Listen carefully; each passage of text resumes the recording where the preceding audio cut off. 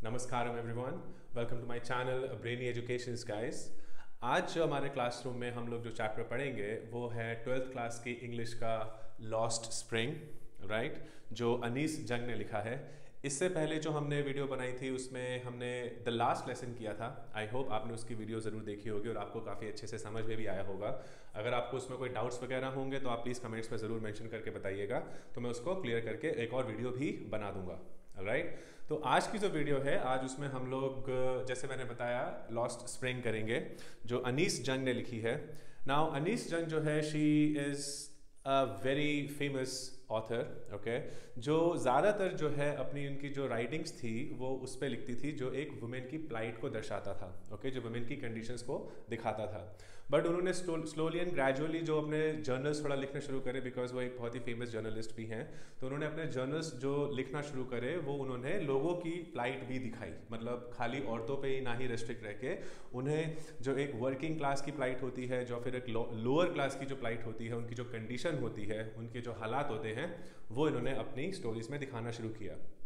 तो वैसे तो इनके काफ़ी सारे फ़ेमस वर्क्स हैं बट एक जो इन्होंने लिखा था वो था इनका lost spring stories of the stolen childhood okay तो आप जो लॉस्ट स्प्रिंग पढ़ रहे हैं वो एक्चुअली में एक एक्सर्प्ट है मतलब एक हिस्सा है उसका, एक छोटा सा हिस्सा है जो आपकी चैप्टर्स में डाला गया है, जो आपकी बुक में इंक्लूड किया गया है।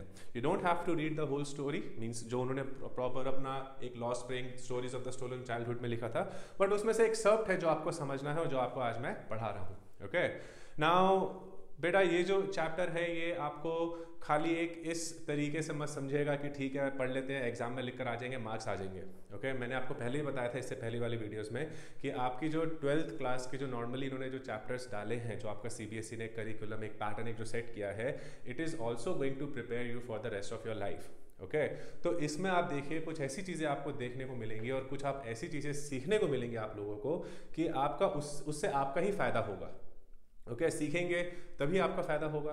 तो लेट्स सी कि इसमें वो लोग वो कहना क्या चाहती हैं जो अनीस जंग है right now she expresses her concern about the exploitation of children in hazardous sectors rag picking and bangle making तो इस स्टोरी में उन्होंने जो अपने कंसर्न दिखाया है जो हेजार्डिस सेक्टर्स जो होते हैं जैसे रैक पिकिंग हो गया जैसे आपने देखा होगा कि कूड़ा करकट उठाने वाले कुछ बच्चे लोग जो होते हैं वो गार्बेज जो पिक करते हैं वो उनको रैक पिकर्स बोलते हैं।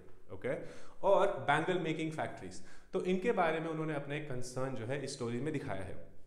ओके उनकी क्या कंडीशन होती है, किन हालातों में वो लोग रहते हैं, वो सारे उन्होंने डिस्क्राइब किया है। Then she says, reasons for loss of innocence at this early age is poverty and inconsiderate traditions.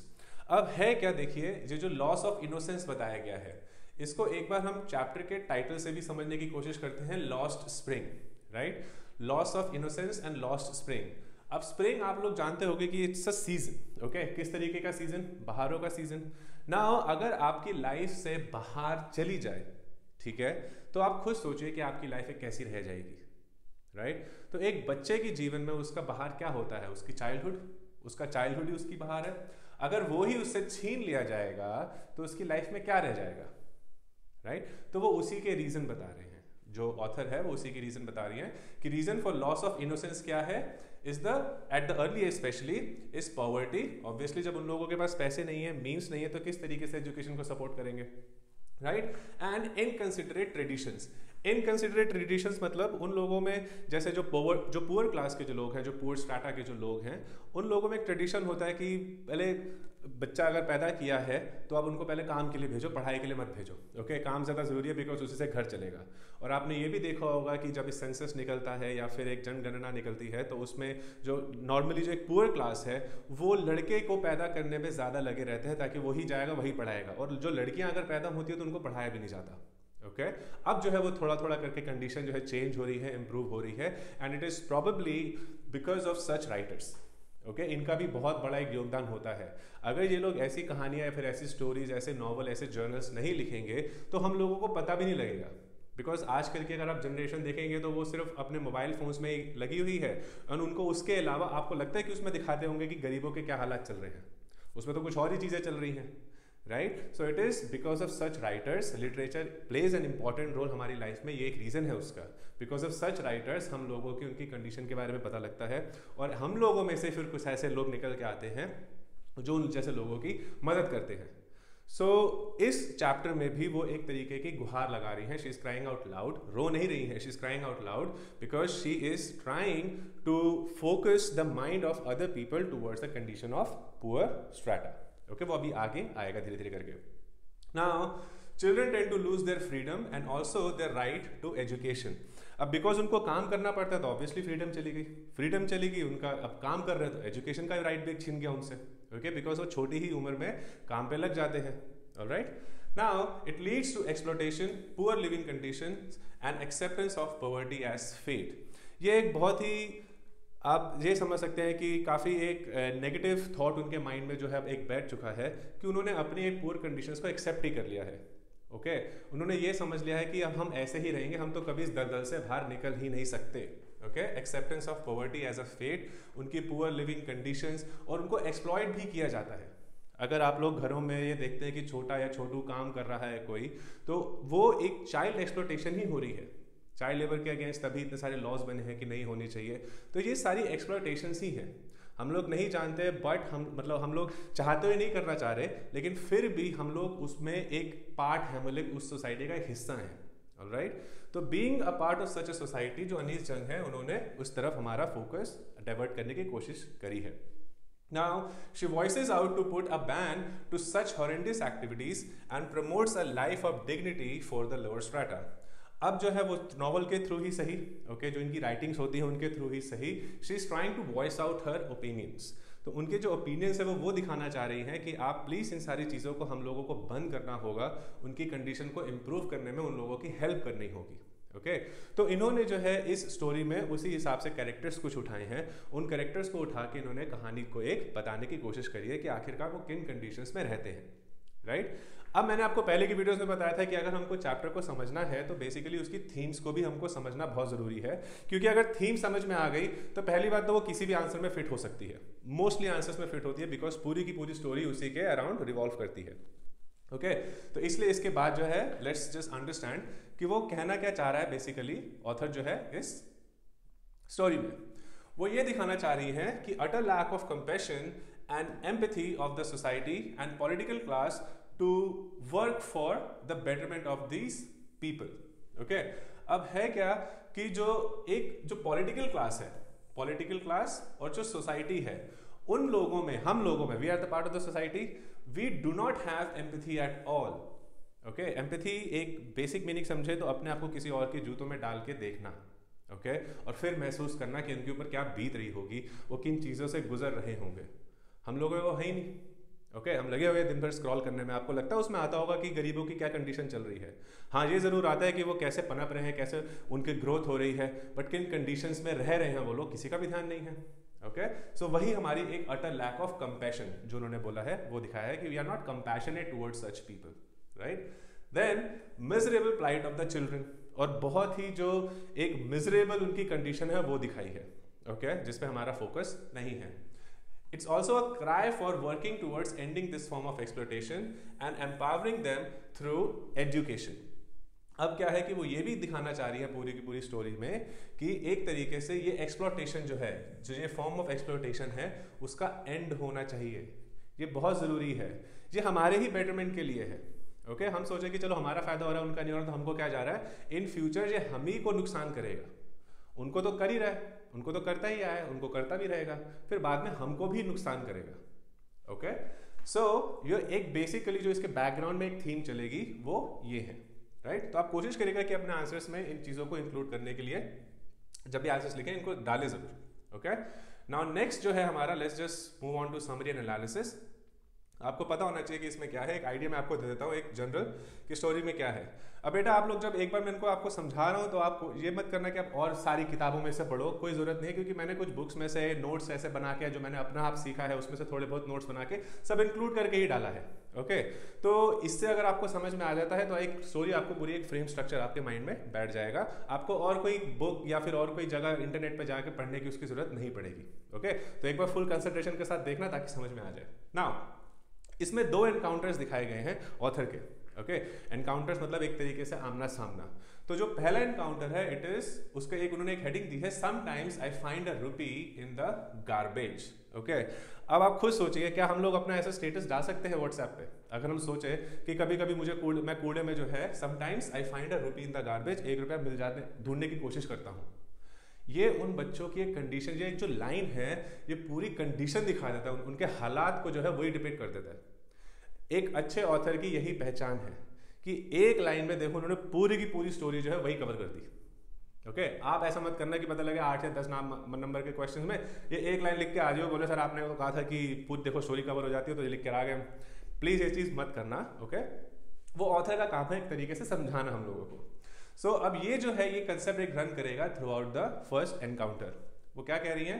The narrator shares her experiences after meeting with some children the poorest strata तो उनका experience उन्होंने share किए हैं। जो वो कुछ बच्चों से मिलती हैं, मिली थी तो उनके साथ मिलने के बाद उनका क्या एक्सपीरियंस रहा? उनसे बातचीत करने के बाद उन्होंने क्या देखा, क्या समझा, क्या सीखा? उन्होंने अपने वो सारे एक्सपीरियंसेस जो है, वो शेयर किए हैं। ओके? तो जो पहला है इस पर एक्सपीरियंस उन्होंने बताया है, उस पर लड़के का नाम है साहिब आलम। Okay okay? अब साहिब आलम जो है, आप लोगों ने मुझे बताना है कि इसका इंग्लिश में मतलब क्या है, क्योंकि आपकी बुक्स में ये दे रखा हुआ है। ओके? तो कमेंट्स में मेंशन करके ज़रूर बताना बिकॉज़ ये जो नाम है, ये जो नाम है, ये एक तरीके से फिर आयरॉनिकल चलता है नाम तो देखिए साहिब आलम है ओके? एक एम्पर को रेफर कर रहा है एक तरीके से बट काम क्या है कूड़े में से अपना एक गुजारा करना, कूड़े में से चुनना तो कितना आयरॉनिकल काम चल रहा है ओके? मान लीजिए किसी का नाम राजा है और वो भीख मांग रहा है तो ये होता है आयरॉनिकल फीचर राइट तो वो चीज़ इसमें दिखाई गई है। Sahib Alam a refugee from Bangladesh a rag picker picking up coins और torn shoes sees them as valuables doesn't go to school no means to attend plus no school nearby as well अब जो साहिब आलम है, उन्होंने क्या बताया है कि वो एक रैग पिकर है ओके okay? उनके बांग्लादेश से जो आए हुए एज अ रिफ्यूजी है राइट रेफ्यूजी होने के बाद उसका काम क्या है? वो क्या काम करता है? बिकॉज़ एजुकेशन तो उनको है नहीं। प्रॉपर एजुकेशन उनको मिलती नहीं है प्रॉपर तो छोड़िए उनके पास स्कूल भी नहीं है उनके नेबरहुड में।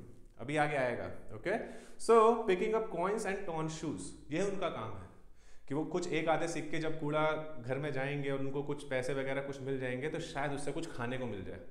उनको कुछ खाने को मिल जाए, उनके घर वाले को कुछ खाने को मिल जाए। ये उनकी सोच है। आप और मैं ये चीज़ सोच भी नहीं सकते ओके बट उनकी देखे क्या सोच है।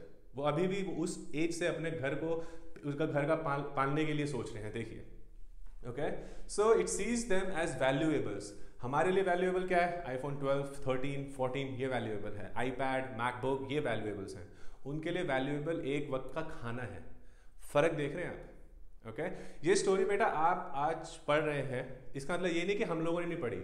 हमने भी अपने टाइम पे पढ़ी है और हमारे से पिछले जो पीछे वाली जनरेशन थी उन्होंने भी पढ़ी है।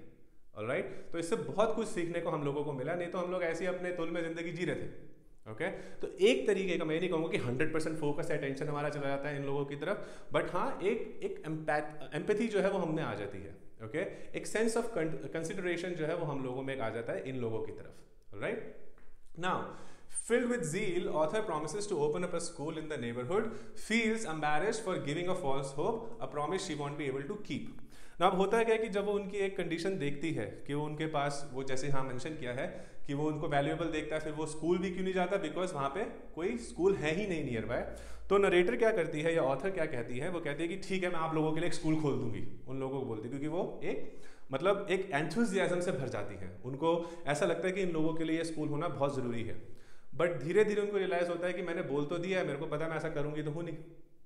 ओके मतलब एक इमोशंस में आके उन्होंने कोई बात बोल तो दी but she actually didn't mean it okay तो वह अब उसको, उनको जो है वो एक तरीके से एम्बेरसमेंट हो रही है। She says on meeting with more boys sees dilapidated condition of these kids unhygienic no shoes poor living condition अब वो और लोगों से भी मिलती हैं, और बच्चों से भी मिलती हैं तो जितना वो उस सोसाइटी में अंदर जा रही हैं, जितना वो उनका एनकाउंटर हो रहा है उन बच्चों से, उतना उनको और उनकी पुअर कंडीशंस डिलैपिडेटेड मीन्स एकदम घुसी हुई कंडीशंस उनको उनको जानने को और मिल रहा है ओके? और वो जितना उनको जान रही हैं, उतना उनको ज़्यादा पेन हो रहा है कि आखिरकार किस कंडीशन में रह रहे हैं ओके? तो इसमें वो जो जा गई है वो सीमापुरी अभी इसमें आगे आएगा सीमापुरी जो दिल्ली का ये इलाका है ओके? वहाँ पे जाके सारे के सारे उनके चीज़ें एक्सपीरियंस की हैं नाउ शी सेज कि उनकी पुअर लिविंग कंडीशन जो है शी एनालाइजेस विद दैट कि द रीजन बिहाइंड इट क्या है कि उनकी जो पुअर लिविंग कंडीशंस है किस वजह से है ओके okay? ऑब्वियसली उनके पास काम वगैरह नहीं है वो लोग गार्बेज वगैरह पिक कर रहे हैं बट और क्या रीजंस हो सकते हैं So she says lack of resources like medium of education, developmental resources, pathetic living conditions. अब जब आप ऐसे किसी स्लम एरिया में जाएँगे ओके okay? आपको स्लम एरिया में आपको लगता है कि आपको वहाँ पर कोई डिपार्टमेंटल स्टोर ऐसा दिखेगा जैसे हमारे घर के पास मेन रोड्स में होते हैं ओके okay? या फिर आपको लगता है कि कुछ ऐसे बहुत ही हाई फाई तरीके के सैलून्स होंगे और वो लोग एक्सपेक्ट भी नहीं करते होंगे वो चीज़ उन लोगों को पता नहीं है वो चलो बात की बात है लेकिन वो सोच भी नहीं सकते उन चीज़ों के बारे में उनको सिर्फ़ ये चाहिए कि खाने को मिल जाए ओके okay? और अभी पढ़ाई उनके दिमाग में है ही नहीं बिकॉज़ उनको पता है कि उनको अभी से पैसा चाहिए। अभी से पैसा पैसा चाहिए तो पढ़ाई से तो आएगा नहीं वो वो काम से आएगा। Right right? तो वो लैक ऑफ़ अब जब और लोगों को पता लगता है, जो एक्चुअली उस एरिया की डेवलपमेंट करने में सक्षम हैं, जो कर सकते हैं, उनको ये पता है कि इन लोगों की ज़रूरत ही नहीं है, इनकी डिमांड ही नहीं है तो बनाने का भी फ़ायदा क्या है? स्कूल वगैरह। ओके सो वही लैक ऑफ़ डेवलपमेंटल रिसोर्सेज मतलब उनके जो घर वगैरह हैं, उनकी जो सड़कें वगैरह हैं, कुछ भी ध्यान नहीं है किसी का भी। किसी को कोई फ़र्क ही नहीं पड़ता। Okay then she visits their slum Seemapuri grieves and it is is in pain to see their plight okay तो जब उनके स्लम में जाती है सीमापुरी में तो उनको बहुत ज़्यादा एक पेन होता है। शी ग्रीव्स कि ये हो, हुआ क्या है इन लोगों के साथ ये? ये क्या है? क्या कंडीशंस क्या है इनकी? Okay okay? कभी कभार अगर आप भी जाके देखेंगे तो आपको दिखेगा उनकी कंडीशंस है क्या? Okay okay? किन हालातों में वो लोग जी रहे हैं। तो वो चीज़ उन्होंने उसमें दिखाया कि उनको पेन होता है सारी चीज़ें देख के। ना refugees possess only an Indian ration card to buy grains तो उनके पास जो कुछ चीज़ें हैं मतलब जिनसे एक लगता है कि ठीक है, इनका कुछ एक एक पॉजिटिव साइड में जो इनके पास है, वो सिर्फ़ एक राशन कार्ड राशन कार्ड ही तो है ओके okay? और मेरे ख्याल से वोटर आईडी कार्ड भी था तो राशन कार्ड से क्या है, उनको ये दिखाया कि ठीक है एटलीस्ट कुछ खाने को वो लोग परचेज कर सकते हैं ओके शायद अगर आप लोग वीडियोस देख रहे हैं तो मोस्टली मैं ये एक्सपेक्ट कर रहा हूँ कि आप लोग राशन कार्ड नहीं देखा होगा, ना शायद शायद आपने सुना होगा, लेकिन आपने देखा नहीं होगा ओके बट हम लोग राशन कार्ड से यूज़ करते हुए आए हम लोग जानते हैं कि वो कैसा था ओके okay? उसमें क्या है कि जैसे अगर बाहर आपको कोई राशन, कोई आटा, चावल अगर आपको सौ रुपये अस्सी रुपये किलो मिल रहा है तो राशन में आपको वो दस रुपये पंद्रह रुपये इतने कम दाम में मिलता है और आप ये भी सोच सकते हैं कि क्वालिटी में फिर कितना ही फ़र्क होता होगा ओके okay? तो ये उन लोग जो ये लोग हैं वो उन चीज़ों पर जी रहे हैं राइट तो वो उसको देखिए एक एज अ पॉजिटिव एट्रीब्यूट ही कंसिडर कर रही है कि एटलीस्ट उन लोगों के पास राशन कार्ड तो है जिससे उनको खाना पीना कुछ खाने को तो मिल जाता है कम से कम okay now she is compare to accept their fate as there is little to no hope left in life, no choice either to come out of their poverty. Now वो एक और चीज़ उधर देखती हैं कि उन लोगों ने अपनी फेट जो है वो एक्सेप्ट कर ली है। अपना जो एक, उनका एक जो डेस्टिनी है, उनका एक जो भविष्य है, जो वो कहते हैं कि भैया अब हम ऐसे ही हैं और ऐसे ही जिएँगे। ओके? ये वो चीज़। और उन्होंने एक्सेप्ट कर ली है। As there is little to no hope left in life कोई होप ही नहीं बची है। वो इस हद तक दबाए जा चुके हैं, इस हद तक उन लोगों को एक्सप्लॉयट किया जा चुका है कि अब उनके अंदर कोई चाह भी नहीं रह गई है उस चीज़ से, उस लाइफ से बाहर आने की। आप सोचें कि उनके माइंड को कितना ज़्यादा कितना ज़्यादा उनको एक्सप्लॉयट कर दिया गया है, कि वो एक तरीके से जीन्स में आ गया है। Okay okay? साइंटिफिकली ऐसा पॉसिबल नहीं है बट फिर भी उसको आप एक साइकोलॉजिकल कंडीशन से रिलेट करने की कोशिश करेंगे तो वो ये अब, क्योंकि जब बच्चा पैदा होता है, वो जो कंडीशन देख रहा है, वही सोख कर रहा है। वही शो कर रहा है तो उनको भी पता लग गया कि हमारे माँ बाप ऐसे जिए तो हम भी ऐसे जीते हैं। 99 आउट ऑफ़ 100 में जो लोग हैं, उनका यही एक मेंटल डेवलपमेंट होता है। इन एरियाज़ में ओके बिकॉज़ कि काफ़ी हद तक वो खुद नहीं करना चाहते और बहुत ज़्यादा जो एक सपोर्ट दे देता है इस चीज़ को वो हमारी जैसे लोग सोसाइटी के ओके okay? या फिर पॉलिटिशियंस हो गए ओके okay? जो और उनको डेवलपमेंट नहीं करना चाह रहे सो so, और वो पॉवर्टी से बाहर भी नहीं आना चाह रहे उनके पास कोई चॉइस ही नहीं है अब बिल्कुल कोई चॉइस नहीं है okay now the only means to that survival is speaking garbage तो उनको पता है कि अब हमारे पास काम कमाई का एक ज़रिया क्या है कि कूड़े उठा सकते हैं, उसी के थ्रू उनके पास हमारे पास जो है रोटी वगैरह कुछ मिल जाती है हमको, कुछ एक आधा सिक्का मिल जाता है, कुछ फटे हुए कपड़े, जूते मिल जाते हैं उससे हम काम कर लेते हैं। Okay okay? आपने उनको नाइकीज के उसमें शूज़ में तो नहीं देखा होगा। हाँ देखा अगर होगा तो वो आगे से पूरा फटा होगा या फिर नीचे से सोल निकला होगा। तो ये उनकी लाइफ है। Okay okay? Now, the narrator meets Sahib, Sahib again after a few days, hoping to see some more, some positive change. अब है क्या वो एक उनका इनकाउंटर उधर थोड़ा टाइम का जो है खत्म हो जाता है फिर दोबारा उनको वो मिलती है। ओके okay, साहिब को नरेटर दोबारा मिलती है। तो उनको लगता है कि शायद अब कुछ चेंज आया होगा। ओके okay, शायद इनकी लाइफ में कुछ इंप्रूवमेंट आया होगा। बट वो क्या रियलाइज़ करती है to her dismay Sahib did leave rag picking only to join another form of exploitation okay तो साहिब ने क्या किया है कि रैक पिकिंग तो छोड़ दी, कूड़ा करकट उठाना तो छोड़ दिया बट अब उन्होंने, उसने क्या किया? एक चाय की दुकान ज्वाइन कर ली है टी स्टॉल ज्वाइन कर लिया है okay Sahib did leave rag picking only to join another form of exploitation working at a tea stall तो अब वो है तो बच्चा ही ओके okay? चाहे उसने कूड़ा उठाना छोड़ दिया हो, अगर वो कहीं और काम कर रहा है तो है तो चाइल्ड लेबर ही एक्सप्लोटेशन ही तो हुई तो वही चीज़ वो उसमें कह रही है okay for eight hundred rupees plus meals तो जो साहिब है वो इसी में खुश है कि मेरे को आठ सौ रुपये मिल जाएँगे और जितना चाहे मैं खा सकता हूँ। मेरा जो, जितना चाहे का मतलब ये भी नहीं कि उसको भर भर के मिल जाया करेगा। ओके वो उसी हिसाब से देंगे, जिस हिसाब से वो काम करेगा और उसको ज़्यादा नहीं कि पेट भर के उसको खिला दिया। कोई ऐसी भी कंडीशंस नहीं मिलेंगी उसको। Okay but he is still happy with this now picking up canister heavier than his rag bag अब क्या है कि आठ सौ रुपये में वो ये कह रही हैं कि अब उसको एक ऐसा चाय का कैनिस्टर उठाना पड़ेगा जो उसके एक कूड़ा उठाने वाले झोले से भी भारी होगा। ये लो चलो ये तो है ही। ऊपर से author is pain to witness this sad things at least he was his own master when he was a rag picker ये बहुत ही इंपॉर्टेंट है और काफ़ी अच्छा पॉइंट भी है। Okay okay? इसमें एक लाइन चलती है जैसे बाइबल में जो सेटन है ओके okay, लूसीफर जिसको कंसिडर करते हैं। तो वो एक काफ़ी फ़ेमस लाइन बोलता है लिटरेचर में मतलब जब मैं पढ़ाता हूँ तो उसमें एक चीज़ में समझाने में मेरी मतलब बहुत अच्छा लगता है। वो ये बोलता है कि it is better to live as a king in hell than to serve as a servant in heaven मतलब नरक का राजा बन के जीने में ज़्यादा मज़ा है, बजाय मैं स्वर्ग का नौकर बन के जीऊँ। Okay okay? तो खैर, ये उसकी एक सोच थी सेटन की एक सोच थी। Right right? अब देखिए इसमें वो सोच किस तरीके से आ रही है कि एटलीस्ट जो साहिब था, जो साहिब था, जब वो अपना काम करता था तो कम से कम फ्री तो था। चाहे कूड़ा ही उठाता था, लेकिन फ्री तो था। उसको किसी की गुलामी तो नहीं करनी थी। अब वो जब चाय के स्टॉल पर आ गया है तो उससे वो आज़ादी भी छीन ली गई है। Okay okay? तो नरेटर का एक भाव किस तरीके से जा रहा है इसमें? एक एक्सप्रेशन किस तरीके से जा रहा है कि एटलीस्ट जब वो अपना काम कर रहा था, चाहे वो खराब ही था, इससे भी ज़्यादा खराब था। बट फ्री तो था, है ना? जो सेतन के थॉट से देखे किस तरीके से मिल रहा है। बट अब वो रैक पेकर छोड़ के जब वो टी स्टॉल में आ गया है तो उसके पास वो आज़ादी भी नहीं है, वो भी छीन गई है, जो अभी उसको रियलाइज़ नहीं हुई। Okay okay? किस वजह से? लैक ऑफ़ एजुकेशन की वजह से मीन्स की वजह से लैक ऑफ़ मीन्स की वजह से। राइट? सो ये जो था, उनका फ़र्स्ट एनकाउंटर था। ना सेकेंड एनकाउंटर उनका होता है दूसरे बंदे से, जिसका नाम है मुकेश। फिरोजाबाद में आप देखेंगे बैंगल मेकिंग इंडस्ट्री अगर आपने स्टोरी पढ़ रखी होगी उसके अंदर। सो so, अब देखिए इसकी लाइन कैसे है? जैसे ऊपर उन्होंने एक लाइन में पूरा फ़र्स्ट एनकाउंटर का एक्सप्लेन करने की कोशिश करी थी। इसमें देखिए I want to drive a car इसमें आता है ना वो मोटर मैकेनिक बनना चाहता है। चलो अगर जिसने नहीं पढ़ा मैं बता देता हूँ वो मोटर मैकेनिक बनना चाहता है। तो वो उससे रिलेट कर रखा हुआ है। I want to drive a car dream देखिए ड्राइव अ कार ओके होते हैं ड्रीम हमारे भी कभी ड्रीम थे कि कभी हम हवाई जहाज़ में बैठ जाएँगे।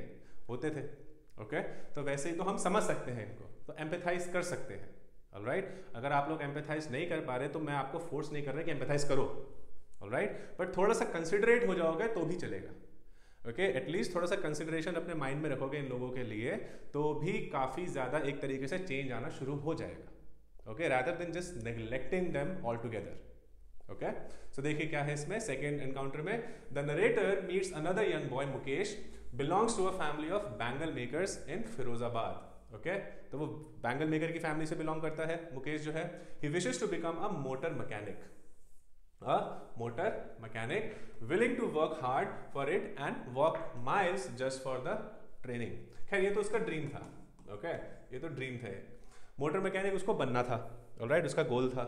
नाउ उस मोटर मैकेनिक बनने के लिए वो डिटर्मिनेशन उसमें ऑथर को जो है दिखता है because he actually is willing to walk miles okay पता नहीं कितने किलोमीटर चल के जाने के लिए वो तैयार है, उसकी ट्रेनिंग के लिए भी. So she says the narrator shares the lives of these bangle makers reveals a morally degraded lifestyle with no hope. A morally degraded lifestyle with no hope. तो जब उनकी वो लाइफस्टाइल देखती है ओके? तो एक तरीके से वो पहली वाली स्टोरी से ही रिलेट करने की कोशिश करते हैं कि इनकी लाइफस्टाइल भी एक तरीके से मॉरली डिग्रेडेड है खत्म हो चुकी है। कोई इसको लाइफस्टाइल वैसे भी नहीं बोल सकते। Okay reviews are morally degraded या ऐसे वर्ड्स बेटा अपने आंसर में ज़रूर यूज़ करना। ओके? बिकॉज़ इससे जो है इंप्रूव होते हैं मार्क्स और अच्छे आते हैं। Right right? आपको क्या लगता है कि 90, 95, इवन 100 स्कोर करने वाले क्या करते हैं? ये तो चीज़ करते हैं। वो खाली समरी नहीं लिखते। वो खाली ये पॉइंट्स उठा के नहीं लिख के आएँगे। They will include certain points मैं एनालिसिस समरी तो चलो ये पॉइंट्स हो गए, जो मैं आपको साथ साथ एक उसके रीज़न बता रहा हूँ कि ऐसा किया तो क्यों किया, उन चीज़ों को एनालिसिस बोलते हैं। Okay okay? तो आप कोशिश कीजिएगा कि जो मैं समझा रहा हूँ एटलीस्ट उसको कन्वर्ट करके आप आंसर्स बनाए। आप कमेंट से भी लिख सकते हैं, मैं चेक करूँगा उसको। Okay okay? तो ये वो चीज़ कहना चाह रहे हैं। Now pathetic working conditions of the glass furnaces poor ventilation dim lights अब देखिए उनकी कंडीशंस के बारे में बता रही है वो, कि वो जहाँ काम करते थे। बैंगल मेकर्स यहाँ काम करते थे। क्या कंडीशन है? वो ग्लास फर्नेसेस में काम करते थे ओके बिकॉज़ जहाँ बैंगल्स बनानी वो ग्लासेस बनती हैं ओके सो क्या है? डिम लाइट्स पुअर वेंटिलेशन और हाई टेम्परेचर्स एक तो बहुत ज़्यादा लो लाइट राइट वेंटिलेशन नहीं है, हवा आना जाना नहीं है कहीं से भी बिल्कुल ओके okay? और क्या है? हाई टेम्परेचर्स बहुत ही ज़्यादा टेम्परेचर भी है। इसकी वजह से क्या होता है? Reason for the loss of eyesight at an early age सिर्फ़ उस कमाई के लिए वो अपनी नज़रों से भी खेलने के लिए तैयार हैं। ओके okay, अपनी आईसाइट लॉस करने के लिए भी तैयार हैं। आप लोग ऐसा रिस्क लेंगे? हाँ? अगर आपको बोला जाए कि आठ सौ हज़ार दो हज़ार रुपये के लिए आप लोग इन कंडीशंस पे काम करो नहीं करेंगे। बट ये लोग करते हैं क्योंकि इनको अपना पेट पालना है।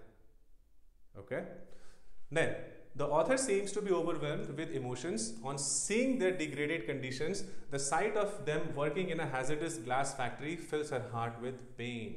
तो ऑथर जो है she is now overwhelmed with emotions अब उनका दिल भर आता है ओके okay? उनको बहुत बुरा लगता है अगर आपको अभी ये स्टोरी सुनते टाइम थोड़ा सा भी बुरा लग रहा है तो जो सामने से देखा होगा जब उन्होंने वो मंजर तो उनको सोचिए कैसा लगता होगा जब एक बार आप सामने, अगर आप जैसे ऐसे मान लीजिए अभी डॉग्स की वीडियोस देखते हैं, जब कोई उनको मारता है ओके उनके साथ एक बदसलूकी करता है, या फिर आप अपने सामने भी देखते हैं तो कितने सारे लोगों को बुरा महसूस होता है। वो एक डॉग की लाइफ देख के देखिए कितना बुरा महसूस होता है ये तो इंसान है। इनकी लाइफ जो है, कितनी बदतर है, वो देख के कैसा महसूस हो रहा होगा इन ऑथर को ओके? तो वो चीज़ स्टोरी में है। वो ये सब कुछ झूठ नहीं है। ये ऐसे नहीं कि चलो उन्होंने लिख दिया कि इससे मैं फ़ेमस हो जाऊँगी हो जाएगा, इसलिए नहीं लिखा। She was already from aristocratic family background जो ऑथर है, वो ऑलरेडी अरिस्टोक्रेटिक मतलब रिच फैमिली बैकग्राउंड से है। तो पैसा कमाने के लिए या फेम कमाने के लिए नहीं लिखा गया ये। एक रियलिटी दिखाने के लिए लिखा गया है। ओके ना she feels disturb on seeing their living areas to no windows in the houses wobbly doors ये टेक्स्ट की ही लाइन्स हैं okay no windows in the houses wobbly doors walls that may crumble any time soon अब उनकी जब वो घर की कंडीशन देखते हैं तो देखिए क्या है कि घरों में खिड़कियाँ नहीं हैं, दरवाजे जो है वो हिल ही जा रहे हैं मतलब ना बंद होने का, उसका पता है, ना खुलने का पता है and walls that may crumble any time दीवारें, छत ऐसी जो कभी भी गिर सकती हैं। इस डर में ज़िंदगी जीना, खुद सोचिए कैसा किसी पे लगता होगा किसको। ओके? कि कभी भी छत गिर जाए, कभी भी दरवाज़ा जब वो टूट जाए, कोई भी घर के अंदर आ जाए चोरी चकारी कुछ भी हो जाए इतनी इनसिक्योरिटी में कैसे जियोगे? वो लोग जी रहे हैं। आदत पड़ चुकी है। तभी ऊपर बोला था कि they have now accepted their fate उनको पता है कि ठीक है, चलता आया, चलता रहेगा। Right right? तो वो चीज़ है इसमें। Now lane stinking with choked garbage and debris जो घर के आगे आपने देखा होगा कहीं, अगर आप स्लम एरिया में जाओगे तो दरवाज़ा खोलती नालियाँ भरी होती हैं। उसमें डेबरीज भरी हुई हैं।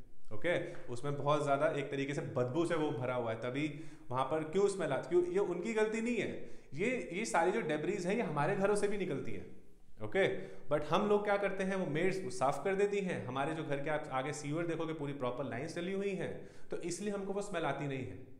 ये नहीं कि वो उनकी गलती है, वो लोग गंद में रहना पसंद करते हैं। वहाँ पे प्रॉपर स्ट्रक्चरल डेवलपमेंट है ही नहीं। अब जब है ही नहीं तो उनका जो डेबरीज निकल रहा है, वो घर के वहीं रह जाता है। बहता नहीं ना आगे जाता है, ना वो साफ़ होता है स्मेल मारता है। फ़र्क देख रहे हो कि हम लोगों को जो एक एलिट सोसाइटी में रहते हैं, उनको कितने जो है फेवर किया जाता है और जो एक ऐसी स्लम एरियाज़ में रहते हैं, उनको कोई फ़र्क ही नहीं पड़ता। क्योंकि माइंड में एक थॉट क्या है? आदत पड़ चुकी उन लोगों को वैसे रहेंगे, ऐसे जीने दो। ओके वो चीज़। Now she says author gets a change to visit the house of Savita okay?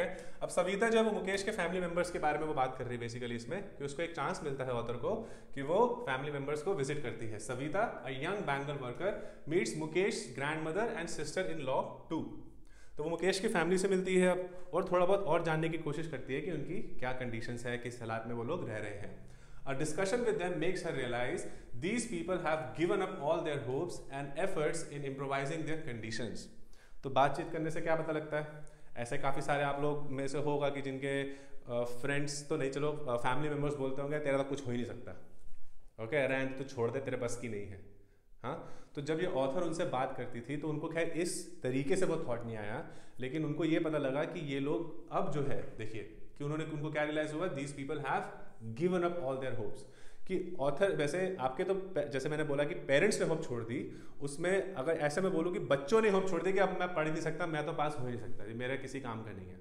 तो पेरेंट्स से पहले बच्चों का ही होप छोड़ना। तो ये वो चीज़ है। ऑथर से पहले लोगों ने ही वो होप होप जो है वो छोड़ दी है कि हमारा कुछ हो ही नहीं सकता, हम इस लायक ही नहीं है। और जब आपने ही एक्सेप्ट कर लिया है तो आप क्यों वर्क करेंगे अपने बेटरमेंट के लिए? है ना? वो चीज़ है इसके अंदर।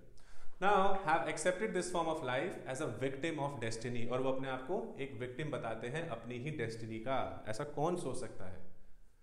हाँ इतना नेगेटिव थॉट जो है, वो सोचना नहीं चाह रहे हैं, लेकिन उनको बना दिया गया है ऐसा कि वो उससे बाहर निकल भी नहीं पा रहे हैं। Okay okay? जैसे अगर कोई स्ट्रे डॉग है, उसको बहुत ज़्यादा सताया गया है और मारा गया है तो अगर आप उसको, आप उसकी कंडीशन देखेंगे और आप अपने घर में लाने की कोशिश करेंगे ना तो आप उसको एक डरा हुआ, सहमा हुआ, बैठा हुआ देखेंगे। आप खुद सोचेंगे हमने मतलब हम तो उसको पानी भी दे रहे हैं घर पे भी लेकर आए सब कुछ कर रहे हैं वो फिर भी हमसे डर क्यों रहा है? राइट तो एक एनिमल के साथ जब ऐसा बर्ताव सोचे देखने में आपको बुरा लग सकता है तो इंसानों के साथ कुछ सोचे क्या होता होगा? ओके ना trapped in a circle of poverty and lack of education, impossible to come out from. Now, ये विशेष सर्कल भी अपने आंसर में डालिएगा जो नेवर एंडिंग सर्कल बोलते हैं विशेष सर्कल को। तो वो उसमें फंस चुके हैं एक ऐसे सर्कल में। ओके? गरीबी में ही रहेंगे एजुकेशन नहीं मिलेगी, वही कूड़ा करकट वाला काम जो नीचे लेवल का काम होगा, वही चलता रहेगा। फिर गरीबी उनके आगे जो बच्चे होंगे, वो गरीबी में ही रहेंगे, वही काम करेंगे, क्योंकि क्या है, वो एक जाएगा, दूसरा आएगा, एक जाएगा, दूसरा आएगा, वही चलता रहेगा। इसी को विशेष सर्कल एक बोला गया है। वो बाहर ही निकल सकते इस चीज़ से। Okay? So, she points out on the zero efforts by other men folk, organized cooperatives, no inclination on giving them a better lifestyle अब जो है वो इधर एक तरीके से पॉइंट आउट कर रही है कि जो ऑर्गेनाइजेशन होती है, जो कोऑपरेटिव ऑर्गेनाइजेशन जो होती हैं पॉलिटिशियंस हो गए मान लीजिए, इनका कुछ भी योगदान नहीं है इन लोगों की तरफ़। ओके सिर्फ़ वोट के टाइम पे वो लोग आ जाते हैं, उसके बाद कोई दिखता भी नहीं है। Okay so points out on the zero efforts by other man folk और भी जो लोग हैं, कोई एफर्ट डालने मतलब कोई सोचता भी नहीं है। आप में से जितने लोग वीडियो देख रहे हैं, अगर आप, चलो मेरे, मैं आप कमेंट में डाल के बताइएगा कि आप में से कितने लोग जो हैं जाते होंगे ऐसी जगहों पे देख रहे हैं इनकी हेल्प करते होंगे फॉर सोशल कॉज ओके कईयों के फैमिली मेंबर से एग्री नहीं करेंगे, कईयों को उनके उनके पास मीन्स नहीं होगा जाने का। कई लोग सिर्फ़ सोचते ज़रूर होंगे, लेकिन करते कुछ नहीं होंगे। इक्का दुक्का शायद जाते हों। ओके तो ये वही चीज़ है।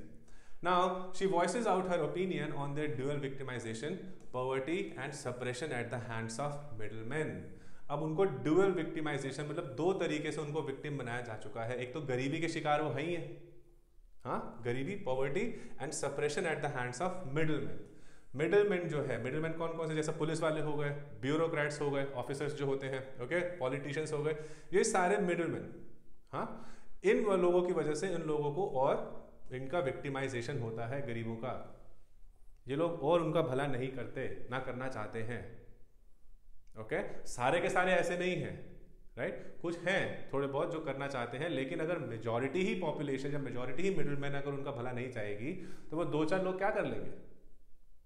हाँ?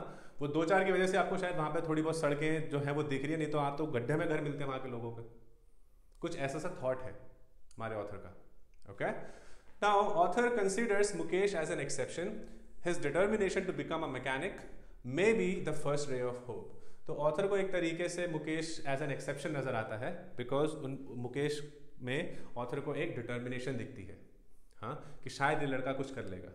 एक रे ऑफ़ होप नज़र आती है, कि शायद कुछ हो जाएगा। शायद ये लोग, शायद जो मुकेश है वो पहला बंदा होगा जो अपनी कम्युनिटी को, अपनी फैमिली को इस दलदल से बाहर लेकर आएगा। ओके सो जो आपकी जो ऑथर है वो इसमें यही सारी चीज़ें जो है, वो दिखाने की कोशिश करती हैं, और इसी पे इस चैप्टर को रैप अप कर दिया जाता है आपके कोर्स में। ओके तो आपको अगर समझ में आया हो, जो कंडीशंस हैं हाँ जो गरीबों की कंडीशन है, उनकी जो प्लाइट है ओके वो सारी की सारी जो चीज़ें हैं ऑथर ये कहना चाह रही है कि अगर आप लोग चाहें तो थोड़ा सा इनकी तरफ़ कंसिडरेट हो अगर, या फिर थोड़ा सा कंपैशनेट अगर आप लोग हों तो शायद इनका कुछ हेल्प हो जाए ओके शायद इनका कुछ भला हो जाए। अगर हम लोग भी नहीं सोचेंगे तो कौन सोचेगा? क्योंकि इन लोगों ने तो होप छोड़ ही दी है ओके बट मैंने आप लोगों से होप नहीं छोड़ी है। तो आप लोग जो है, अगर वीडियो अच्छी लगी तो इसको प्लीज़ लाइक करिएगा ओके और मेरे चैनल को ज़रूर सब्सक्राइब करना बिकॉज़ इसकी पूरी प्लेलिस्ट अभी आएगी सारे चैप्टर्स की विद क्वेश्चन आंसर्स हर एक चीज़ में इसके अंदर अभी डालूँगा, ताकि आप लोग के जो बोर्ड्स हैं, वो और भी अच्छे से हो सके। सब कुछ क्लियर हो जाएगा ओके इसके बाद आपको और कोई टेक्स्ट वगैरह कुछ पढ़ने की ज़रूरत नहीं पड़ेगी बिकॉज़ अगर इतना समझ में आ जाता है, उसके बाद जब मैं क्वेश्चन आंसर्स करवाऊँगा तो वही सारे डाल के आप लोग पूरा स्ट्रक्चर अपना आंसर लिख सकते हैं। ठीक है? और शेयर ज़रूर करिएगा मेरी वीडियो को और कमेंट्स में अगर कोई डाउट वगैरह हो तो प्लीज़ आप उसमें लिख के बताइए। नेक्स्ट चैप्टर के साथ I'll be back soon नमस्कार।